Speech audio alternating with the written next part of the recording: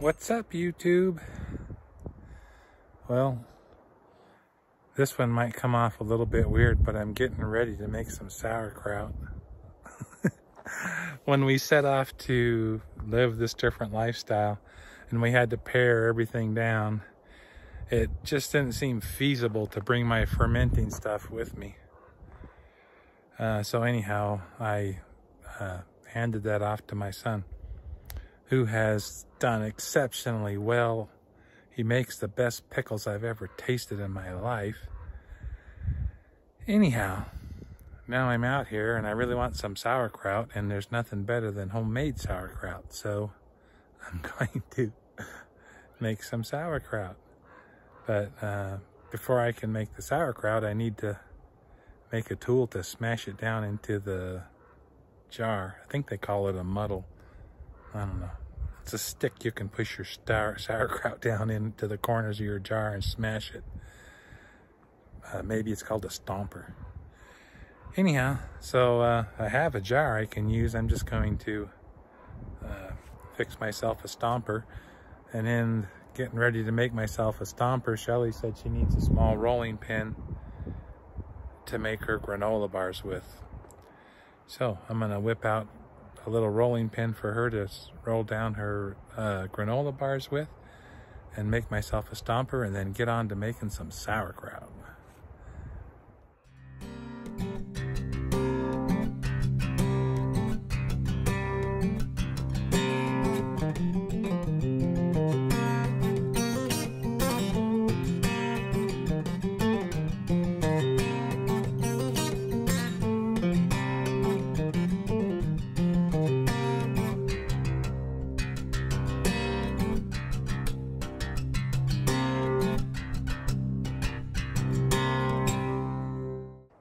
Okay guys, there's one other element to this that I didn't speak about, but I also want to make some homemade pizza.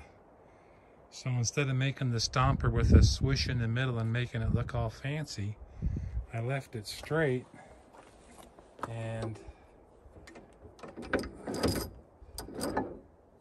that way I can multitask it and use it as a rolling pin for my pizza dough. So I left one end square and I rounded the other end so I could get down into the corners once I sand that nub off. So I think this is going to be super awesome. I'm pretty sure somebody will ask, I have no idea what kind of wood this is. it's some kind, it was sold to me basically as the species rosewood but it was kind of a not a typical looking rosewood that I've ever dealt. Anyhow, I've had it for a long time. Finally going to get some use out of it as a rolling pin.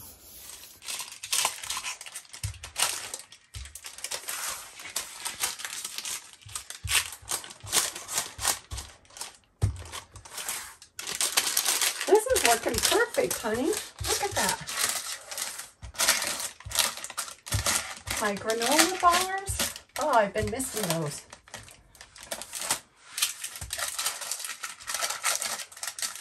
So you just need to have something to compact it all down. That's why I said don't just leave it straight. So just pop it in the freezer, let it freeze for a few minutes, and then cut them up into little squares. Yummy goodness.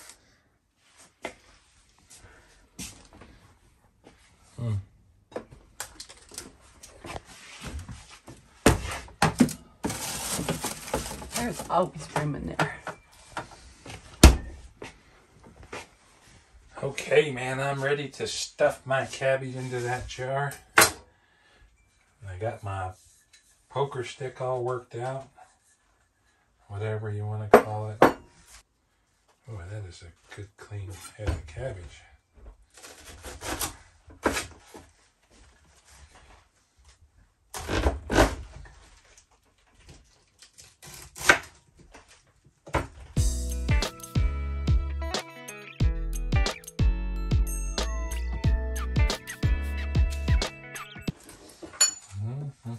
Mm-hmm.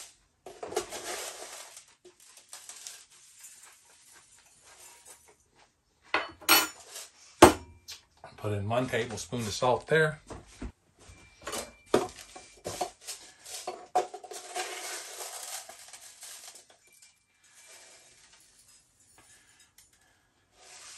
I haven't done this for a while, so I don't remember. Put caraway seeds in there. But I do remember I used to have a bigger bowl. This will all come together in here. It's just a matter of time. So I just kept massaging that and squeezing it till it broke down like that. I remember I like caraway seeds in it, but I don't remember how much. So in the interest of knowing what I'm going to do next time, I think I'll put in a tablespoon.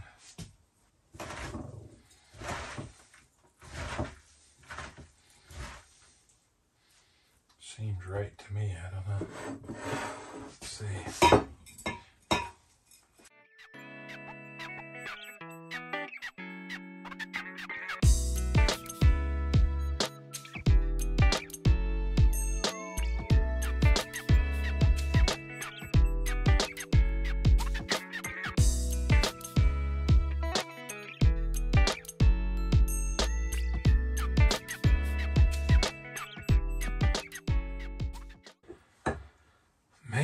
Think I could have got that in a quart jar. We have one if you need one. Hmm. Okay. Operation switching to a quart jar because this one's so big. Uh, it'll be hard to get keep everything under the liquid in there. All right, let me find a quart jar here. Phase two if we don't know what I'm doing here. now I'm going to switch it into this smaller jar. I don't know how hard this is going to be because I got it packed in there so good.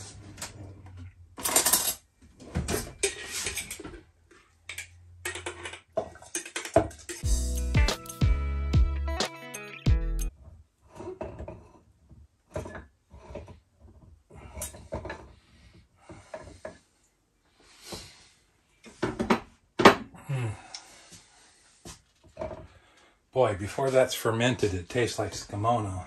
So, I ordered myself some more fermenting weights and some bleeder tops, but I'm too uh, ready to get this going and see. So when they come in, I can actually just add them onto this. But what I'm going to do is just put this guy on here. And that should keep everything down underneath the water. And a week or two, I should have some awesome sauerkraut. And as the ferment grows, it can just burp out around that rim and fall into the dish, and I just keep the dish emptied out. So we'll see how it goes, but packed in there nice, and I got plenty of juice and everything. It tastes delicious before it's even fermented, so I'm looking forward to having some fresh sauerkraut. Okay, guys, there she is. I, re- I didn't remember how much I loved just the salted cabbage when I was mixing it up. Oh my gosh, that tastes so good. But I don't know where I'm going to find to put it, but I know it's not going to live there very long because my partner will be like, hey, Yeah, I think we can put it back over here maybe. Then it'll be out of the way. back behind the piggy bank. Yeah, or we can just put the piggy bank back here for a while. See, it wasn't even 10 seconds into the discussion and I already got moved. I knew that was coming. Because Mama likes a clean counter. That's right. I like my workspace. What can I say? Anyhow, I hope you guys enjoyed this video. I'm just up here in the in the uh, pine trees hanging out, taking a down day.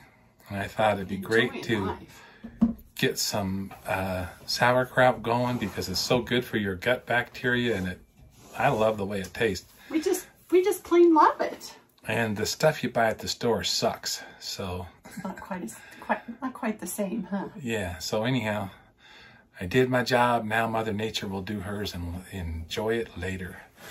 So I hope you guys have uh, lots of fun projects going on, lots of friends, and lots of love in your life and we'll catch you in the next video. See you later.